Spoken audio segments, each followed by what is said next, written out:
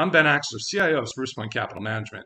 Today we issue a strong sell research opinion on Porch Group Inc., tickers PRCH, with 50 to 70% downside. Now, this is a recent SPAC deal, but one of the worst of its kind, hemorrhaging cash in technical default before a new capital injection and a new spin on its business. After 10 years, the company still can't generate cash flow and hasn't figured out how it's going to make money selling home services to customers. The latest iteration we also think will fail. It's being run by Matt Ehrlichman. He came from the Active Network. Now, a number of years ago, I co authored a scathing report that sent that stock reeling. The executives were dismissed and the company was taken private and public shareholders lost money.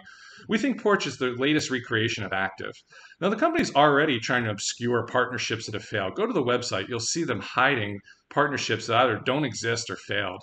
Now, the company's recent focus is on the home inspector market. And what they do is they either sell the software or give it away for free. But the problem is they're inflating their gross margins because they're effectively bartering and recording no cost for these leads. We also talked to uh, key people knowledgeable with this business, believe the company is inflating key inputs um, around the financial metrics of this business.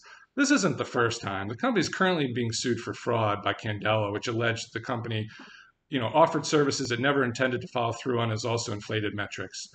Now, the company has also engaged in other shady transactions and shady accounting. Look at the Lowe's transaction with the CEO. The company recorded this transaction on its books for adding $33 million of stock comp expense, even though the transaction had nothing to do with the company, and gave a, a conflicting explanation to the SEC.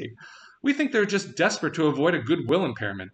Now, this company's valued at nine times revenues, and Active Network was taken private at two times. And Red Ventures, which has competing assets in the space, also acquired their businesses for two times. If you put a two times multiple on this year's revenues, adjust for debts, and use 100 million diluted share count, we get $5 a share. Buyer beware.